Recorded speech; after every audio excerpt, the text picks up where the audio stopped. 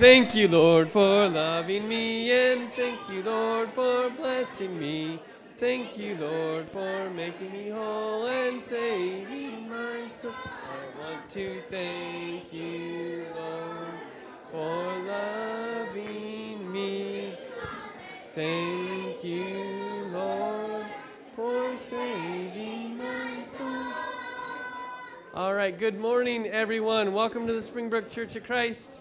Uh, we begin our worship as we do this morning, as we do every Sunday morning with our Lamplighters program. It's our family devotional program. Yep, I know.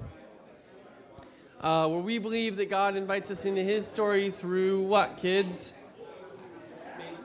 Reading, singing, and praying together. Right, through reading, singing, and praying together. So, um, we completed our last quarter a week or two ago. Last week was our was our assessment, our testing. I don't know what we call it. If anyone needs the makeup the makeup testing this morning, if any of you kids need it, um, right at the start of sermon, the sermon, come downstairs, and I will be down there to do the makeup testing with you. Um, so we will test you and then send you back up. So if anyone needs that makeup testing, come down. Um, at the start of the sermon at the beginning of the Bible hour this morning. All right. Yes? Did you have a question? Oh, yes. We are going to start our new material. So, what does Torah mean? Torah means teaching. Torah means teaching. Very good. And then, what is the Torah? Should we read this together? This is all new material. Do you, do you think you know it? I was going to say that, but it, the Torah is the first five books of the Bible. The Torah is the first five books of the Bible. That's right. And then what does Pentateuch mean? This is a red one. Should we read it together? One, Greek term, term meaning five scrolls. Two, another name for the Torah. Good job, everyone. All right. And then what does salvation mean? Salvation means rescue. We're in sync here this morning. Uh, and then what do we need salvation from? Does anyone know? Or should we read together? Do you know? God? Uh, let's read together. We need salvation from sin and its consequence, death. And then the red. What did God? What did Israel consider the primary example of God re- rescuing His people? Let's read it together. God's Passover, His rescue from the tenth plague of Egypt, and escape through the sea. All right, good job, everyone. Go take a seat. Give me a hand.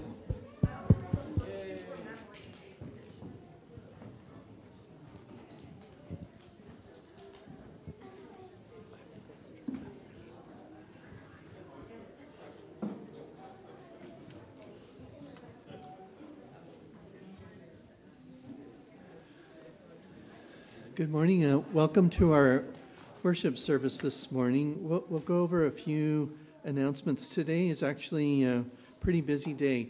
Right after worship, we'll take five minutes to go over our. Every year we have to go through a, a state required corporate meeting. It'll take five minutes, and what we'll do is um, re elect or I guess elect officers. And Dirk will lead us through it. It'll, it'll take it's very quick and easy and painless, hopefully. So um, we'll do that right after worship today. And then there's um, today there's a Women's Day prep event uh, right after worship uh, downstairs. And um, so the other thing that's going on is uh, our children have been preparing for months now to uh, go to LTC in Richland.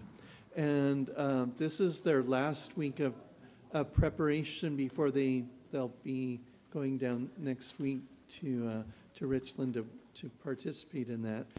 Um, there's a team of eight of our children that will be, that will be uh, going to that. So today will be their last practice. Um, uh, one other thing that um, is going on. So the, you'll see in the parking lot some work's been done, uh, a, a new landing place for where the woodshed here will be moved to has been prepared in order to uh, prepare the uh, ground that we're having, that we have right here for a playground. And on the back, on the left, on the table, you'll see a box that uh, is a ballot box. And um, there's four pictures of the options of playground that we have to choose from. And so next week will be, well, this week and next week will be the last week to put it, give your input to that. And you'll, you'll see uh, little forms there and you can check off, it says first to last, I think, and then just make your choices and then slip it in the box and we'll have good input then for that. And uh, Travis and Ian have been working hard on, on that as well as other people and doing a lot of the work for that. And we thank you for, for all of that. Um, One other thing, um, we have a mailbox on that side of the street, right over here on the corner, and it keeps getting broke into. And so we've, we've formally tried, or made, uh, are asking the post, post office department to uh, forward the mail from our post, our mailbox here to our post office box. What we don't want any of you to do is use our mailing address to mail in contribution or anything like that, because uh, we're giving it away to somebody else if we do that. So, um, so if, uh, please, please don't use the mailing address, uh, our, our address for your mailing, but use the post office box address. Did I make that clear? Okay. Um, We have lots of people to pray for. There's a, an insert, oh, Valerie will be back uh, next Saturday, bringing her sister Pam. So, um, so that will be good to have her, her back with us again. Um, And lots of people to pray for, uh, too. So if you'll pay attention to that in the bulletin. Will you pray with me now? We'll start our worship. Dear Heavenly Father, we're, we're grateful for this beautiful day. Thank you for this family of your believers. Father, we are grateful that you have made us a part of your body here. And uh, we love you so much. And we pray this morning that our, our worship will be pleasing to you. Uh, thank you for your Son. And it's in Jesus' name we pray. Amen.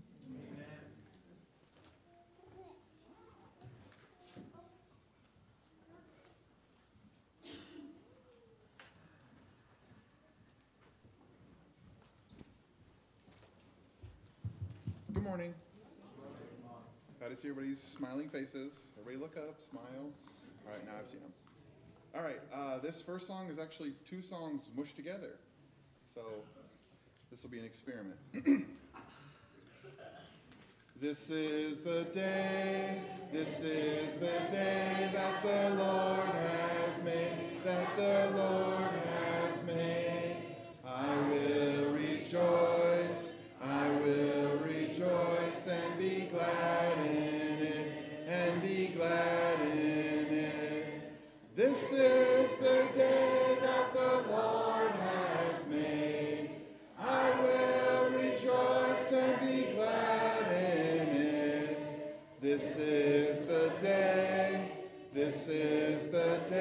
that the Lord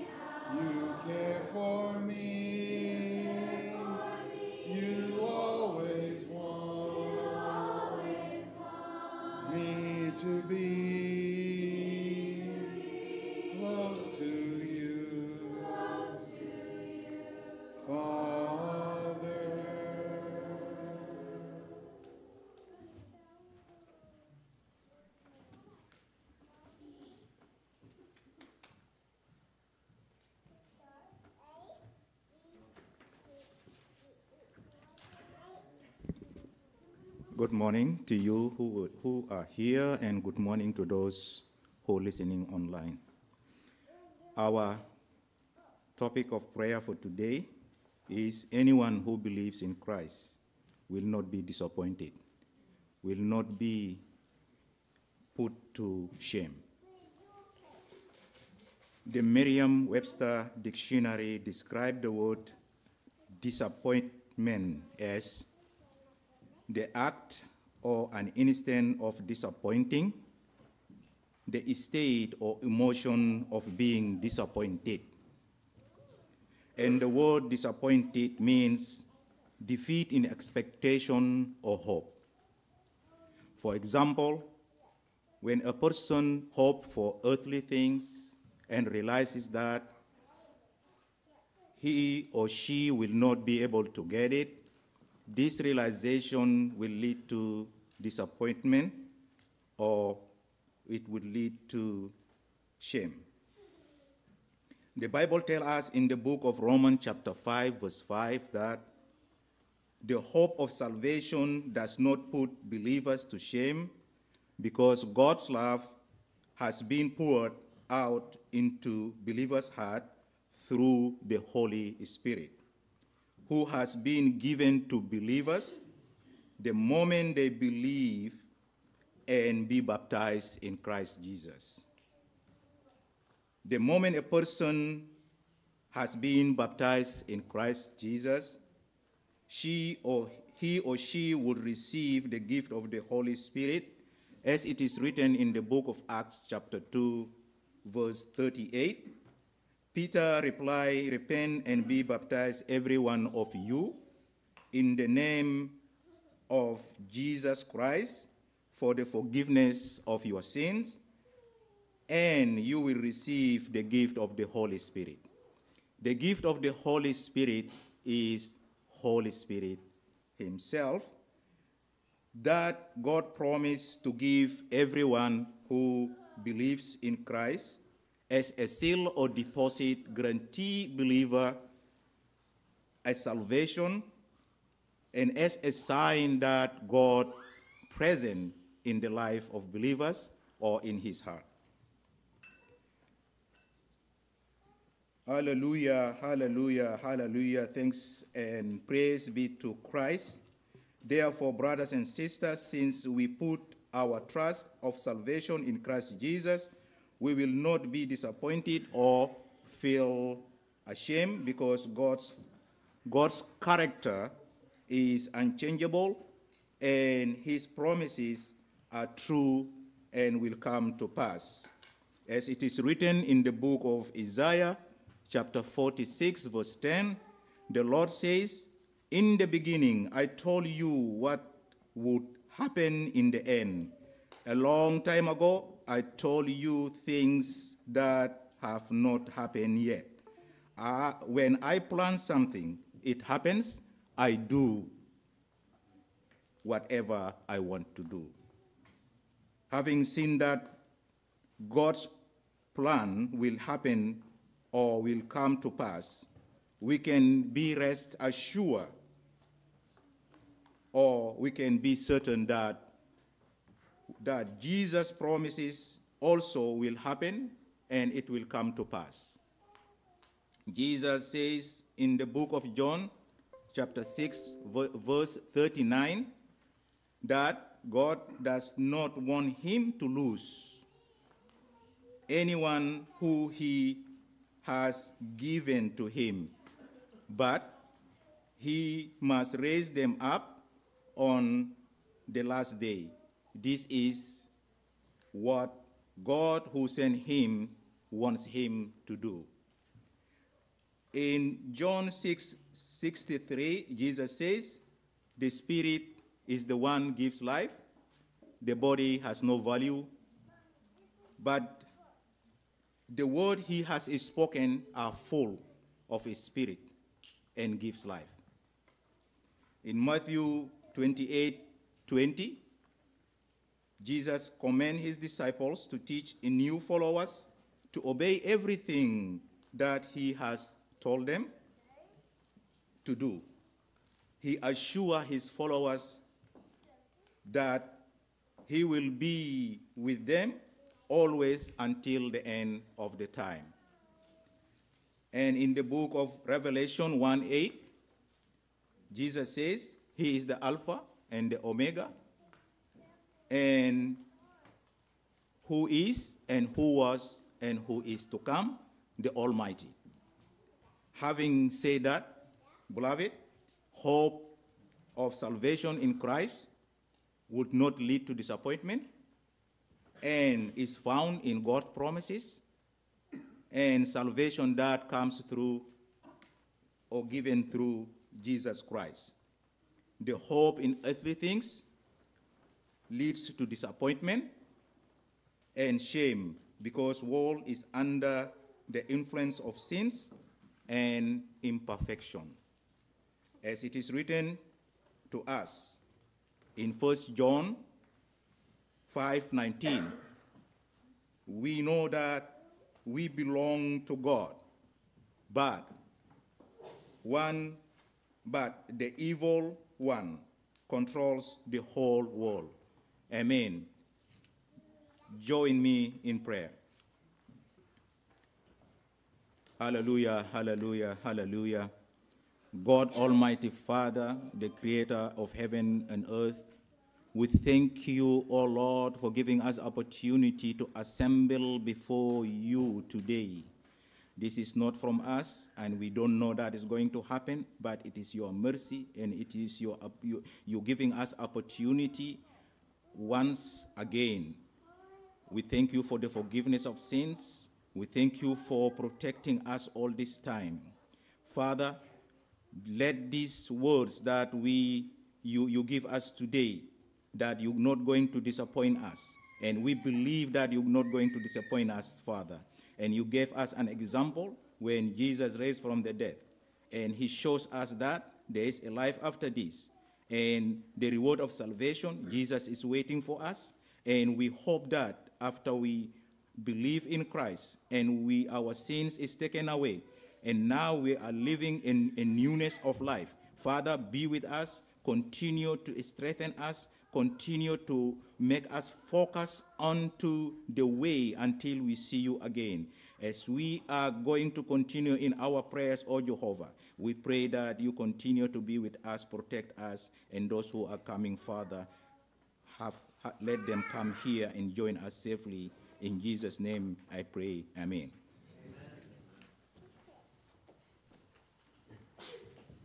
These, uh, these next couple of songs are going to direct us and kind of lead us towards the time that we take the Lord's Supper and we focus on Christ's sacrifice. Um, this song, we're going to sing verses 1 and verses 3. And uh, let's go ahead and stand for this song.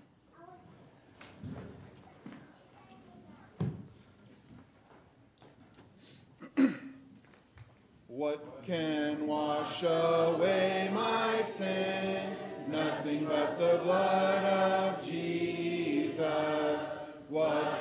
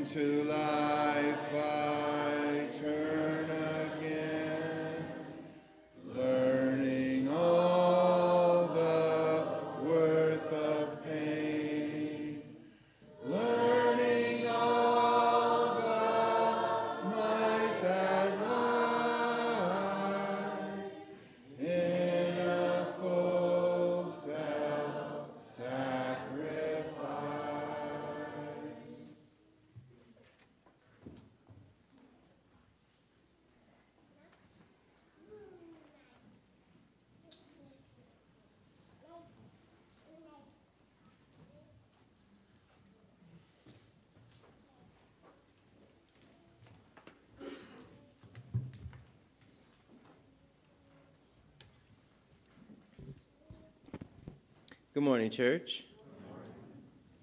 You know, you know what's gonna happen now. I mean, I think we can do better than that. Good morning, church. Good morning. See, that feels better. I can't be the only one that thinks that. Uh, but it's good to be back with you guys after being out of town last weekend. Um, it's special also that I get to do communion back to back times, at least that I'm here. So I appreciate the leadership uh, and those for allowing me this opportunity. Uh, but for communion, uh, when I think about communion, the first word that comes to mind for me is sacrifice. And I've shared this with the congregation before, but um, the word sacrifice is mentioned in over 200 scriptures in the Bible. The word love, I started to count how many times the word love is in the Bible, scriptures, that is. And uh, after I got to 300, uh, I said, we'll just go with over 300 times. Um, which makes sense because it takes a tremendous amount of love for sacrifice to take place. And sacrifice, the definition is the surrender or destruction of something prized or desirable for the sake of something considered as having a higher or more pressing claim. That is, the surrender or destruction of something prized or desirable for the sake of something considered as having, having a higher or more pressing claim. And Jesus and his life were that prize. And our opportunity for salvation was that more pressing claim.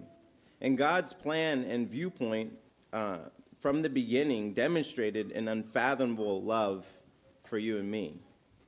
So as you live your life, you should recognize that you have value, you have worth, you have importance. In all of our flaws, we have worth, we have value, and we have importance. And when you or I or we don't feel the love and respect that we would like to, know that in God's eyes, once again, you have worth, you have value, and you have importance. Because in Christ, we are that more pressing claim. And Jesus died for you and for me. And that's what I want us to think about as we move forward with our communion. So let us go to our Heavenly Father in prayer for the bread. Our Heavenly Father, thank you for your Son, Jesus. Thank you for his death, his burial, and his resurrection. Thank you for your Son and the sacrifice that was made on our behalf. And as we partake of this bread, which represents your Son's body, let us do so remembering the great sacrifice that was made for us. Let us do so in a manner that is pleasing unto you.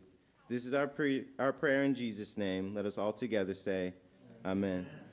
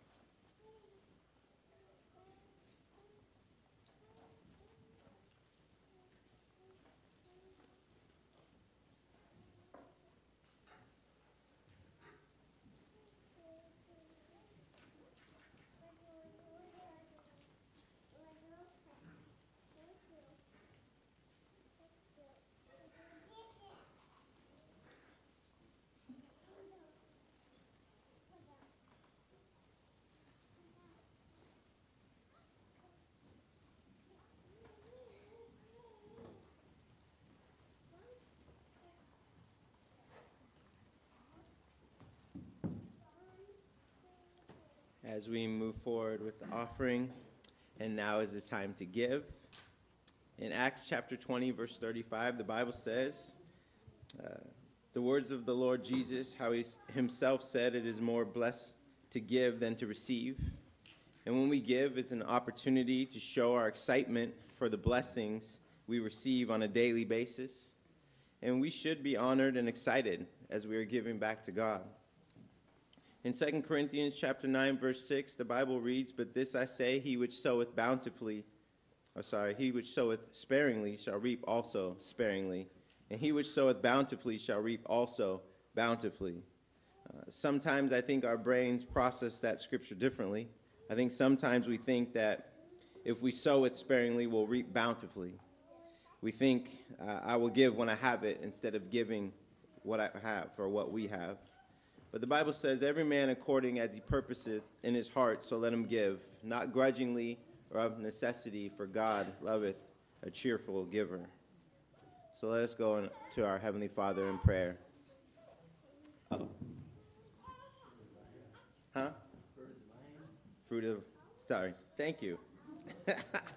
I guess we should also do the cup. Appreciate that. You know, I feel like this is part of the community. You know what I mean? We're going to do the cup. Let's go to Heavenly Father in prayer for the cup. But that, I think that was sounding pretty good, though. Heavenly Father, uh, thank you for your son shed blood. Thank you for the sacrifice that was made for us. And, and thank you for our community this morning, helping me out. Uh, uh, as we go ahead and partake of the cup, let us do so in a manner that's pleasing to you. This is our prayer in Jesus' name. Let us all together say, Amen. Thank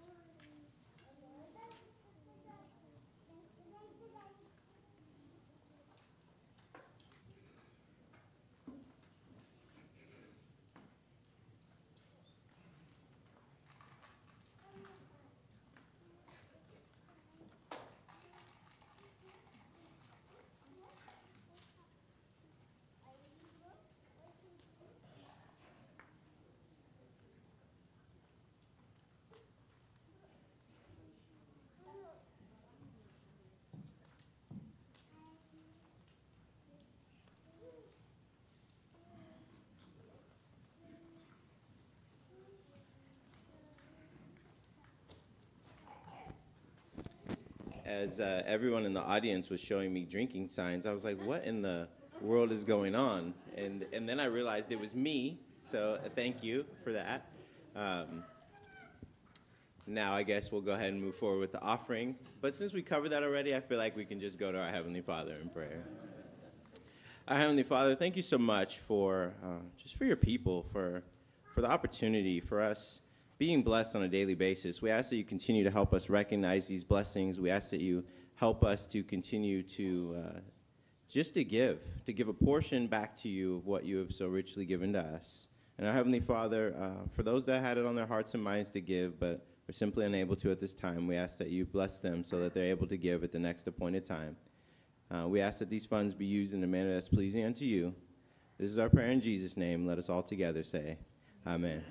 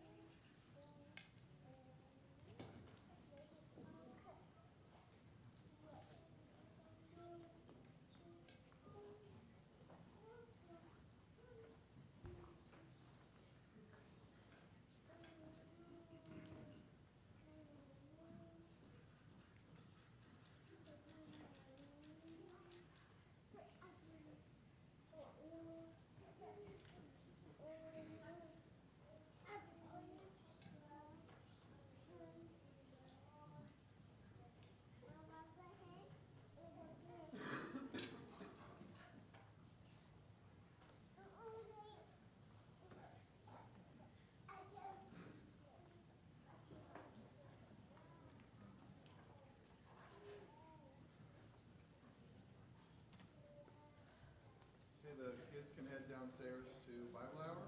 Our father Abraham had many sons.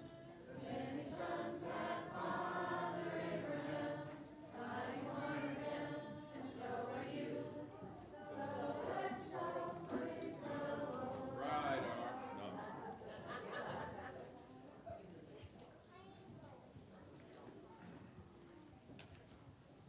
We generally don't clap, but we can do hand and arm motions, right? Is that okay? Um, okay, so good morning. Welcome to Springbrook Church of Christ. I'm Thomas Morris. Glad you're here. Uh, trying to look around and see if we have any visitors or uh, guests. If, if you're visiting, welcome. Um, it's good to see Bahailu here uh, from his many travels and journeys. Uh, brother, I'm, I'm, I'm glad you're home. Or I guess away from home. Sorry you're away from home. I'm glad you're here. Um, we are in a new quarter for Lamplighters. Uh, you know that because all the kids don't know the answers to the questions uh, anymore, and so they're starting starting over again. This last quarter, we focused on Genesis 1 through 11. Uh, I like to call that the prologue to the Bible. It's, it's helping you understand what kind of world the Bible is describing. Uh, who is this God that is the creator of all things, and who are his people? And uh, this quarter, we're going to cover uh, the rest of Genesis and Exodus is kind of the biblical material that we're, we're focusing on. In our adult class, we're talking about Exodus. And so I thought in at least the sermons that I get to deliver, uh, I'm going to be talking about the rest of Genesis, focusing on, on some key stories that maybe, maybe don't get as much attention. Um, and so today we're going to spend most of our time in the book of Genesis, chapter 18, if you want to move over there with me the thesis for today, the thing that I, I, want to for you to consider and for us to think about, is that God chooses Abraham and Sarah to bring forth His promised Messiah. Now that might not seem revolutionary, maybe that's very obvious, um, but he's he, he chooses these two people, and you know it wasn't the right time to bring forth the Messiah, and it wasn't the right place, and and and uh, the the, the moment when, when Jesus was going to come forth. Uh, but, but he chooses these two people for a reason. They, they have a particular character, and he, he knows that they can bear the seed. They can bear this pattern that he wants to bring forth in the person of Jesus. And so they're the ones, they're, they're the matriarch and the patriarch who, who we look back to as the ones who uh, were faithful and completed this, this, this journey uh, in a way that eventually comes to fruition in the person of Jesus. And in the same way, we're called to forth, or excuse me, we're called to bring forth our own little people that, that are going to bear the image of Jesus. They're going to, that are going to grow up and be uh, powerful men and women of God. that are going to change and transform the world around them to be more like God's kingdom. And so, in this way, we too await Jesus' return, await Jesus' arrival, um, and, and we are faithfully carrying on this pattern after them. So let's look now at in, in Genesis 18 to, to, to get us, before we start reading it though, I want to give us some context. Um, the prologue, thankfully, uh, I was thankful for Randy's class this morning. He did a, a quick recap of Genesis itself, so I'm going to go a little bit more in detail leading up to Genesis chapter 18. So like I said, the prologue is, is this, uh, Gen- Genesis 1 through 11 is this helpful uh, understanding of, it's trying to help us understand where we are in the world, who we are in the world, who God is, and, and who we are, what, what God did to, to create the world, and, and how He brought all things to order, uh, and, and who humans are in relation to Him. We found out that we're in a good world, and that we're uh, creatures which are, which are at the, the pinnacle of, of this, this world that He's created, uh, and, and He wants to give us special responsibility, a special role in His creation to rule over the creation with Him uh, in a way that honors him and in a, in a way that he sees fit. Uh, but we choose to define good and evil on our own terms, uh, and, and we end up bringing a curse instead of a blessing onto that creation. And so that creates all this discord and this murder and this uh, just, just backstabbing uh, stories that, that come about in the next, next few chapters of Genesis, uh, ultimately resulting in God wiping creation out through the flood and bringing, bringing forth kind of a, a recreation after Noah and his ark land. Uh, but we see the same patterns of humans even after that moment, uh, continuing to, to act in ways that aren't, in aligned, aren't aligned with good God's will, including Noah's own sons. And so from there, he calls uh, one particular family, the family of Abram. He calls them out of Haran, and they are blessed in order to bring a, be a blessing, as we see in, in chapter 12. Abraham, uh, he obeys God's calling to, to come out of Haran uh, and leave his family there, except he brings a little bit of his family with him. He brings his nephew Lot, because Abram is married to this woman Sarai, who's barren. She can't have children. And so Abram, he's called to be a blessing. He's called to bring this blessing into the world. And so he kind of brings Lot almost as an insurance, an insurance policy. Uh, he needs an heir. He needs somebody to take this blessing, and, and he needs somebody to take his estate. He needs all the, somebody to, to transfer these things. So maybe it's going to be Lot. We don't know. Um, except we've read, we've read, hopefully we've read this story, so we do know. Right? That doesn't, that doesn't turn out well. Uh, he ends up down in Egypt. It's one of the first stories we found out about Abram. He ends up down in Egypt, uh, and he comes out of Egypt with so much stuff that he and his, his that he and his nephew Lot have to separate. And Lot settles in this valley of the Jordan uh, and, and this, this well watered place uh, that seems like it's the best place to, to be, uh, but it's also near this city called Sodom. And then we, we talked about this a couple weeks ago with the Battle of the Kings, where the, the kings of Canaan rebel against their masters, who are the world, world powers at this time, the, the ones that live up in the land of Babylon. And the kings of Canaan partner with giants, and the but still, the powerful kings of the north come and defeat the Canaanites. They loot, plunder, and enslave all the people there, including Lot, who's been living in Sodom. So Abram goes up and he raids these kings. He gets his nephew back. Abram gets a blessing from this priest of Yahweh named Melchizedek, uh, and and and, and uh, he's given this covenant from from Yahweh. God promises Abram uh, that he's going to give him all the land that he sees. So it's not just it's not just the land that, that he's settled in, but it's also the land of the Canaanites that, that are kind of all around him, occupying the land and living there, uh, you know, living in these evil ways. Uh, and, and he's also going to give them the land all the way from the, from the Red Sea all the way up to the, to the Euphrates River. All, all this land is going to be belong to his descendants. But still, Sarai has no children. And she's been, she's been bare, barren uh, their, their whole life. God promises he's going to give this land, but, and, and, he's gonna, and he actually clarifies in this first covenant that he's going to give him a son from his own body. Okay? And, and Sarai's still pregnant. Or, excuse me, Sarai's still barren. And so they're, they're, they're, they're trying to think this. They, they, they're, pretty patient. They wait 10 years, and then Sarai has an idea.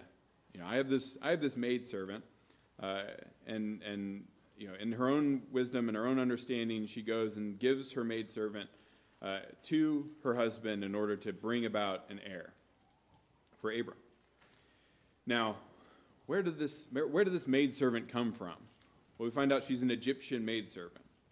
And so all this baggage that Abram keeps bringing with him, he, brings Lot down from Babylon, he brings uh, Hagar up from Egypt, all, all these, these people that, that come along with him uh, that, that weren't part of the original plan continue to, to detract from Abram's journey, detract from what God's trying to do with Abram and his family. I think there's an important lesson for us to be garnered there that we, we often bring, upon, bring along these things that weren't meant to be there, and then we wonder why we're stumbling and fumbling over them uh, when, when it comes down to why we aren't doing God's will.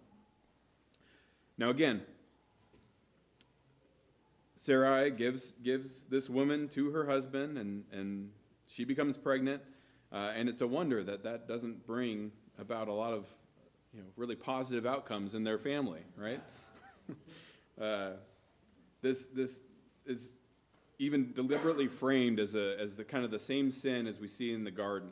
Abraham listens to the voice of his wife, Sarai. That's the same thing that's said about Adam listening to the voice of his wife, Eve. And so, in the same way, Abram fails here and, and Sarai fails here. And, uh, but, but they do have this son, Ishmael.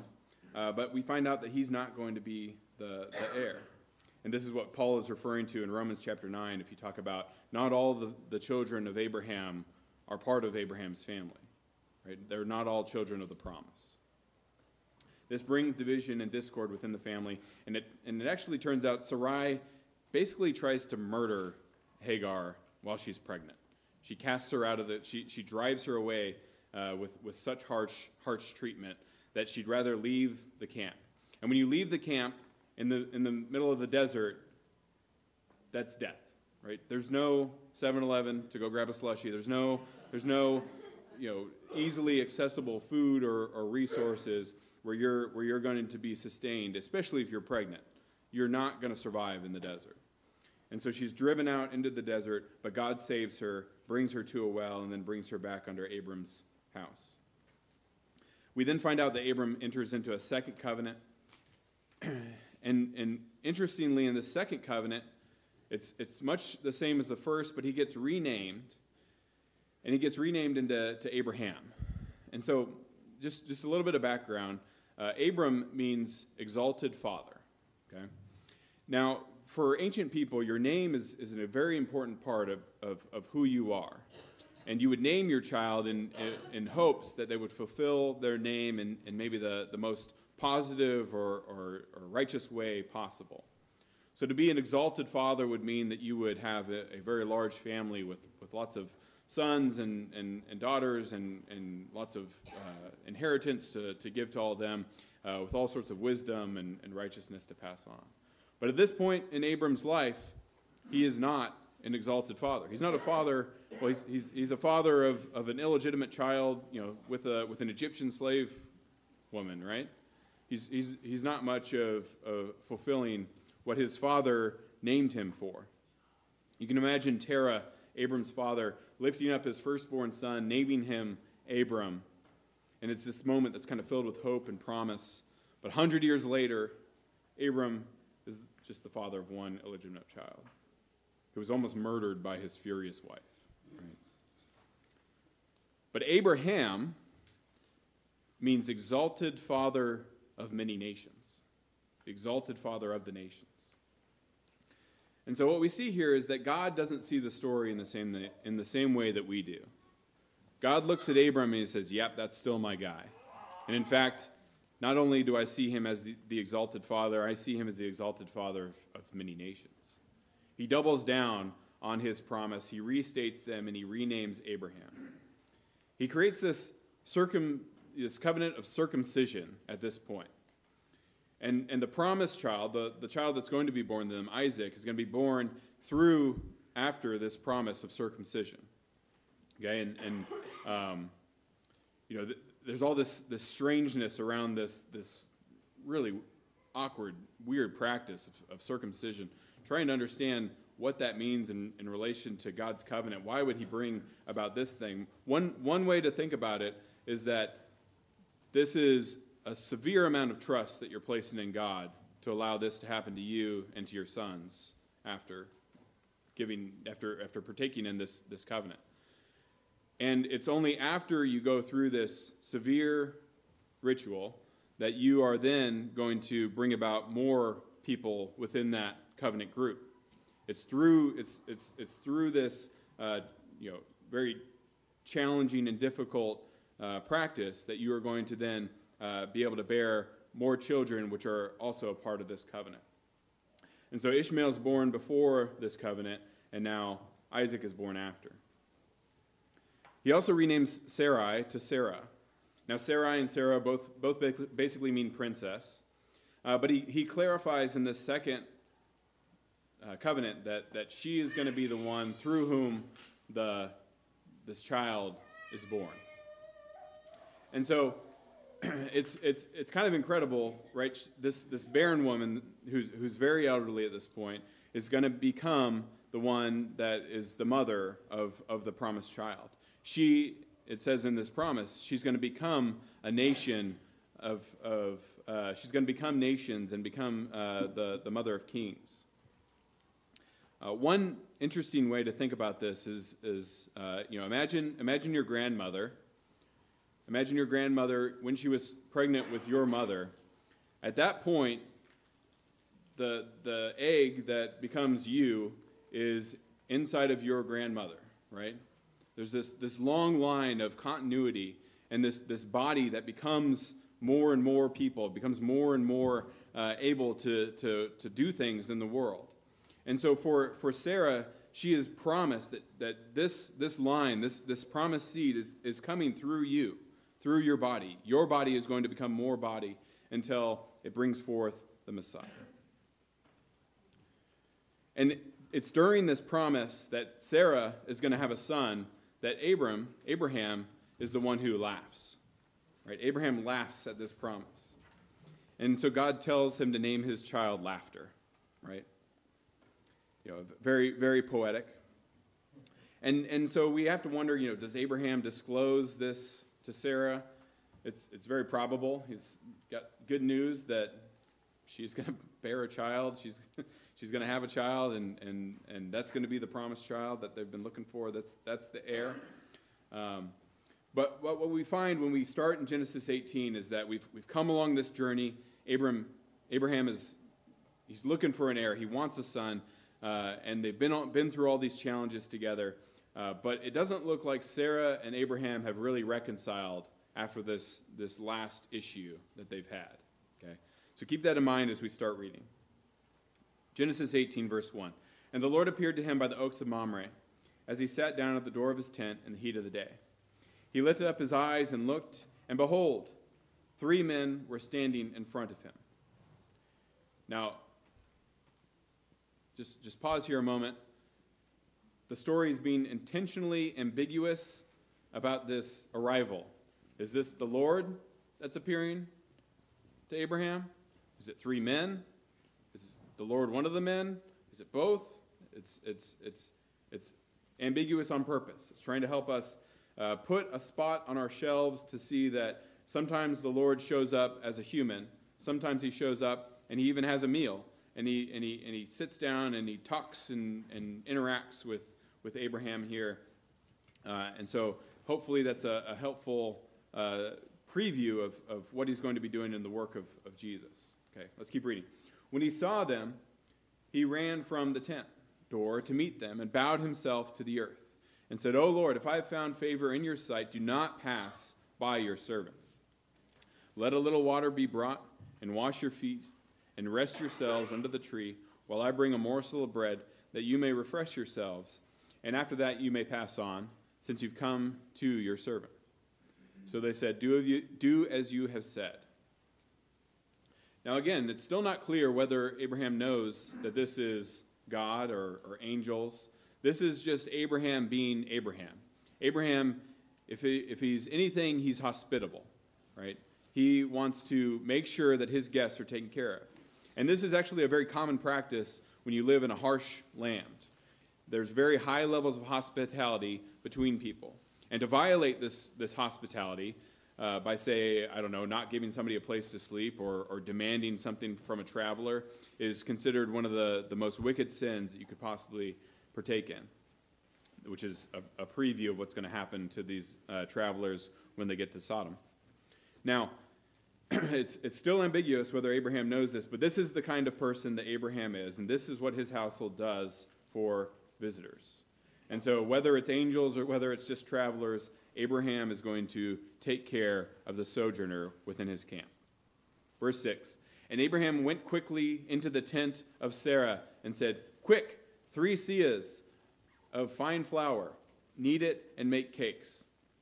Now, I don't know why our Bible translations do this, why they don't translate some strange term that we don't know what it is, a seah. Uh, so, so what a seah is, so three seahs is about 20 quarts of flour. Uh, a, a, quart of flour weighs about a pound, so you could call it 20 pounds of flour, okay? So your husband bursts into your tent, says, quick, make 20 pounds worth of bread. He doesn't say please, right? yeah, you better, right? Um, but that's a lot of that's a lot of bread. That's a lot of cakes, right, for her to make. Okay, let's, let's keep going with Abraham. And Abraham ran to the herd, and he took a calf, tender and good, and gave it to a young man who prepared it quickly. And then he took curds and milk and the calf that he prepared, and he set it before them. And he stood by them under the tree while they ate. Now, what's missing from this meal? Where's, where's all that bread? Hmm. Hmm. Interesting. They said to him, Where is Sarah, your wife? And he said, She's in the tent. The Lord said, I'll surely return to you about this time next year, and Sarah, your wife, shall have a son. And Sarah was listening at the tent door behind him. Now Abraham and Sarah were advanced in, were old, advanced in years. The way of woman had ceased to be with her. So Sarah laughed to herself, saying, After I'm worn out, my Lord is old. Shall I have pleasure? The Lord said to Abraham, Why did Sarah laugh and say, Shall I indeed bear a child now that I am old? Is anything too hard for the Lord? At the appointed time, I'll return to you about this time next year, and Sarah shall have a son. But Sarah denied it, saying, I did not laugh, for she was afraid. He said, No, but you did laugh. now, note here that Sarah's reaction is the exact same as Abraham's. It's the exact same. They, they oh, Sarah's going to be pregnant. All right, cool. All right. Um, but again, names and destiny. Is Isaac, the son of laughter, is he going to be this, this derisive laughter of the scorner and, and this laughter of unbelief? Or is he going to be a, the laughter that's, that's characterized by joy and contentment and, and, and the knowledge that God has blessed you with something that's beyond yourself. This is the core of our story, for us, even as Christians. We believe in the God who brings life out of death. When, when we think about this, this miracle that happens with Sarah and Abram, that, that, that they conceive and have a child at this age, this is not possible through our normal, rational, natural understanding of the world. It's just not. The oldest person, even today, to have ever given birth was 73. God bless her. Um, but that was through in vitro fertilization, and it was with a cesarean section, right? So, so it's, it's only through modern technology and surgeries that this is even, even possible, right? N- neither of which have been available to anyone until very recently. You know, that you could, you could used to do a, a cesarean section, but you would kill the mother, right? You, you could rescue a baby that way um, but, but the mother would certainly die. And so, for us, we need to look at this story through their eyes, seeing that God brings life from a place of death, from a place that, that everybody else had written off, including the man and the woman to whom the promise had been given. And so for us too, we hope for the child of promise. We, you know, we're approaching Mother's Day next month, Fathers, just yeah. heads up. um, I don't know, and I don't know what your relationship to that day is, especially the women in here. I don't, you know, maybe you hope to be a mother, or the, the men hope to be a father. Um, but maybe those dreams aren't happening, or, or they're, they're not happening in the way that you kind of foresaw them. Maybe, um, you know, it seems like it seems like that's that, that promise is, is slipping away or slipped away in some way through loss or death or estrangement. But I have good news for you that we belong to this story, that, that God is the God of miracles, and his family needs mothers and fathers more than anything. All the stories in Genesis are about fathers and sons and mothers and daughters. They're all about how to be the fathers and mothers that God wants you to be, how to be a son or a daughter that, that is in line with the character of your Heavenly Father. And so to, to be a part of this story means that you're paying attention to these details. You're paying attention to who Abraham is, who Sarah is, and who they're becoming, and who God wants them to be. He wants them to be the kind of mother and father that trust that even though it seems like all is lost, that He's still going to bring this life out of death. And He's still going to be the one who takes them, and, and be, they're going to be the mother and father that bring about this nation that we are now a part of today. And so for, for, for us, that means that, you know, I know three or four couples personally who thought that they would never have children. And, you know, doctors told them that it was impossible. and now they, they have children, right? And so just because it seems impossible doesn't mean that it is. But, but even if that it's not a possibility, even if you're, you're past that point, the fact is, is that we need godly mothers and fathers within this body here today. There are, there are people here that don't have mothers and don't have fathers that could absolutely need your help. And this is, this is a family if it's anything. And so I, I would encourage you to connect more closely, to reach out, not to, not to shut that part of yourself off as, as is kind of encouraged in the world, but to open yourself up to this body and to see how much you could be a mother and a father or a brother and a sister to the people here in this place. The miracle of Isaac's birth points forward to the miracle of Jesus' birth. And, and Jesus' birth and, and all births point to just the miracle of birth and the mystery of life in general. Eight billion people alive today on this planet, all because of this amazing and mysterious miracle. Let's finish by reading this, uh, this portion, uh, this last half of this chapter, um, which, is, which is more focused on Abraham. Because now the visitors are going to turn their eyes on Sodom, and we're going to turn our eyes to, to Abraham and, and what he's doing here. Verse 16. Then the men set out from there, and they looked down toward Sodom. And Abraham went with them to set them on their way. The Lord said, Shall I hide from Abraham what I'm about to do, seeing that Abraham shall surely become a great and mighty nation, and all the nations of earth shall be blessed by him? For I've chosen him that he may command his children and his household after him to keep the way of the Lord by doing righteousness and justice, so that the Lord may bring to Abraham what he has promised him. Then the Lord said, Because the outcry against Sodom and Gomorrah is great, and their sin is very grave, I'll go down to see whether they have all have done altogether according to the outcry that has come to me, and if not, I will know. So notice a couple things as we're reading through here. Does God say he's going to destroy Sodom and Gomorrah? No, he doesn't say that. He says he's going to go check it out. He's heard some bad things. He's going to go find out if this report is true. Now, does the God, omniscient God need to go check out, uh, uh, need to go, you know, figure out exactly what's going on in so- Sodom and Gomorrah? No. But he's inviting Abraham to participate in his business. He's inviting Abraham to participate in this righteous judgment of this wicked place. He wants to understand who Abraham is and what he uh, is, is going to be doing, because part of Abraham's training and his own job description is to be to ruling to becoming a nation that carries out God's righteous judgment and his mercy. And so Abraham begins bargaining in verse 22. So the men turned from there and went toward Sodom, but Abraham still stood before the Lord.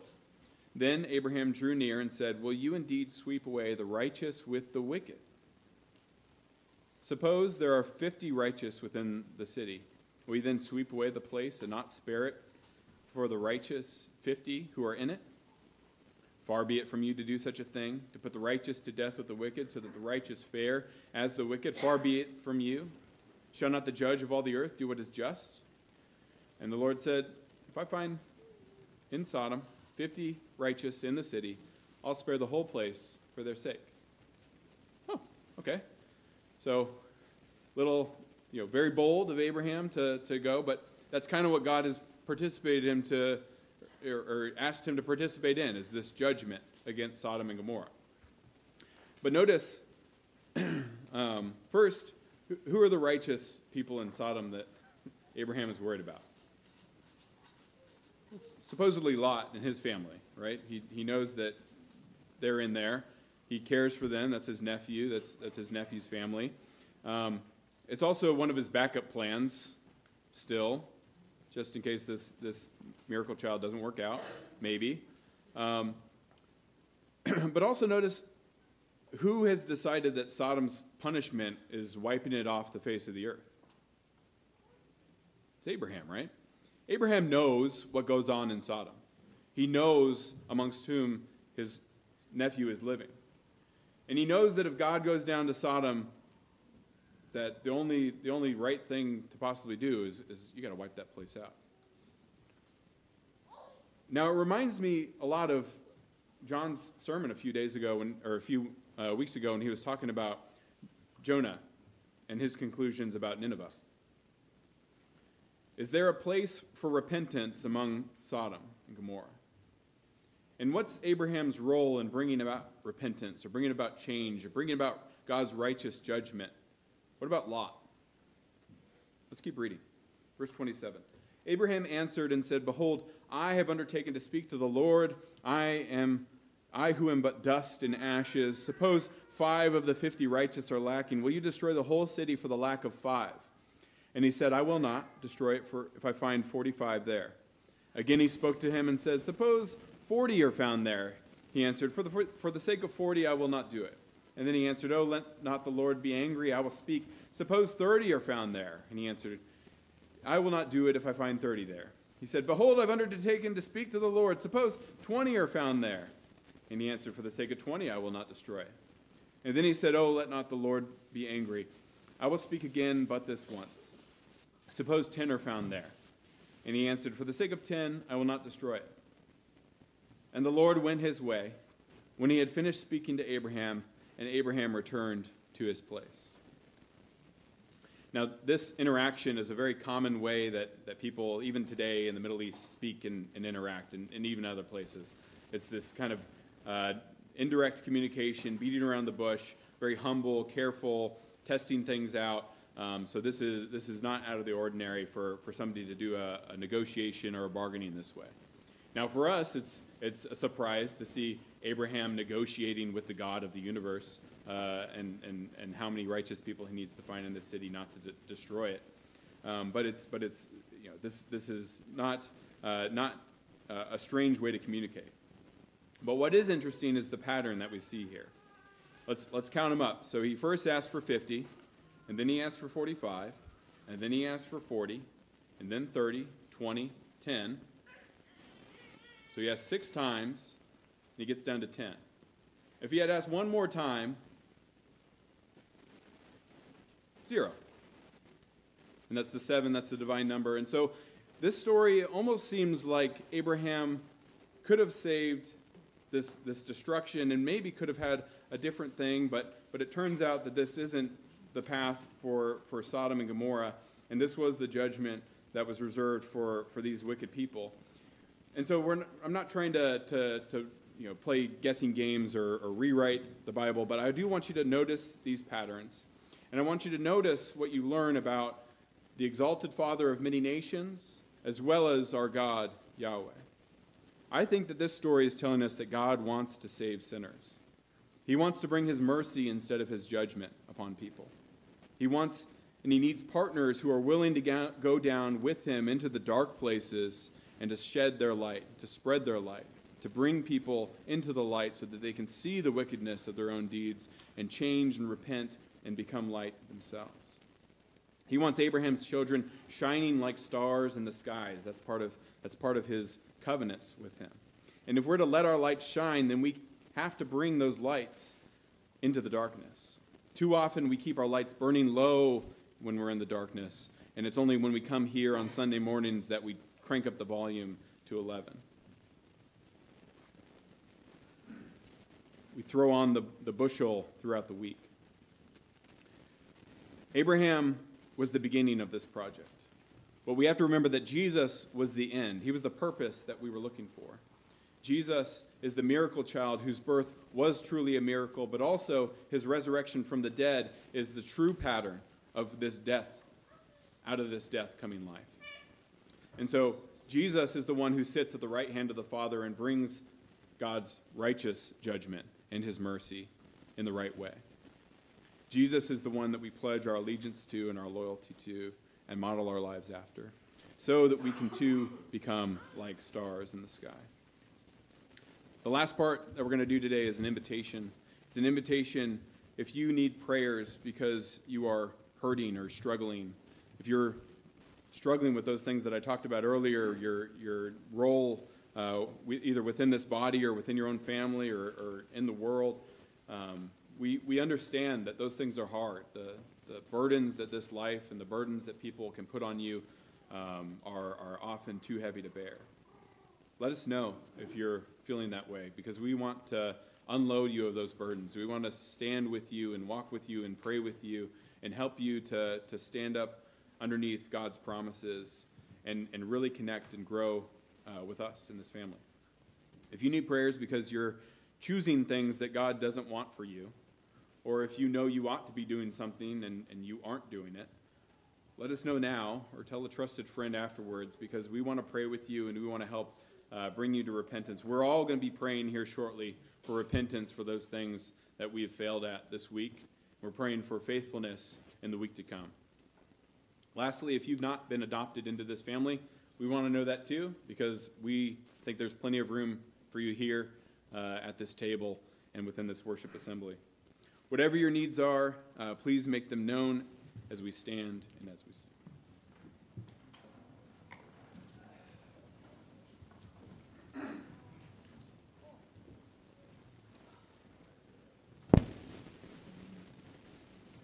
Bless the Lord, O oh my soul, O oh my soul. Worship his holy name. Sing like never before, O oh my soul. I worship your holy name. The sun comes up, it's a new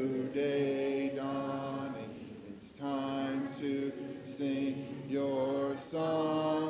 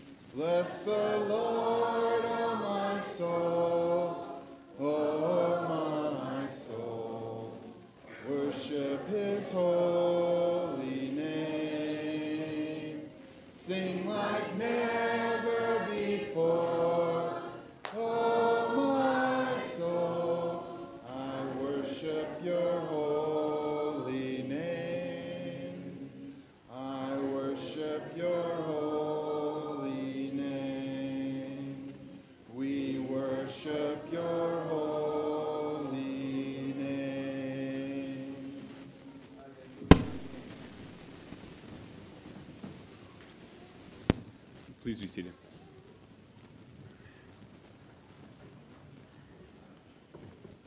Let's pray. After this prayer, please stick around um, for our business meeting. Dear Lord, thank you for this day. Thank you for um, this time that we got to come here to worship you, uh, to commune with you, with one another.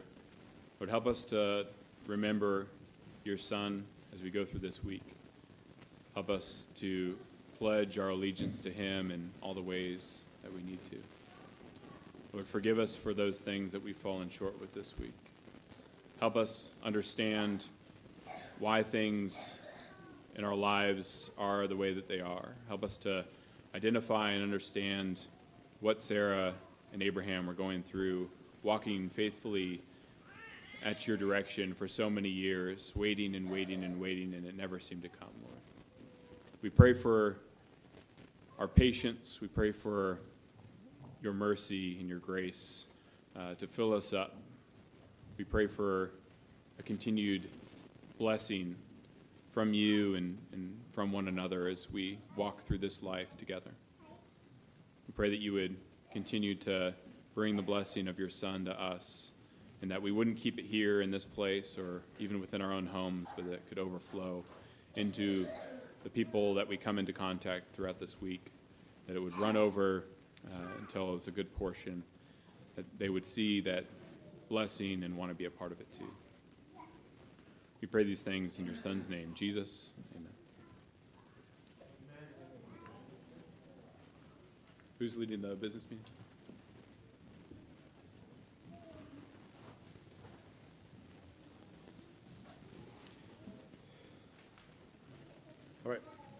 Quickly, we've got just a couple, couple minutes to go over something. This is our um, annual meeting uh, to fulfill a requirement for the state, state of Washington. To the state of Washington, you are part of a corporate nonprofit.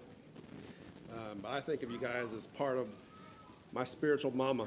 You, you, you guys are part of the church here, right? But for them, uh, it's a corporate nonprofit, and um, um, we have our elders are listed as the the governors, and so what we have to do each year is we have to have a, a meeting. We have to elect uh, governors that will be listed uh, on the state's website for us, uh, this corporate nonprofit. And so we have to um, elect uh, governors each year. So um, what I'd like to do is open the floor to, um, for nominations for governors for this year, for 2024. Okay.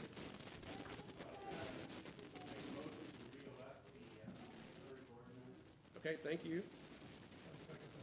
We have a second, okay?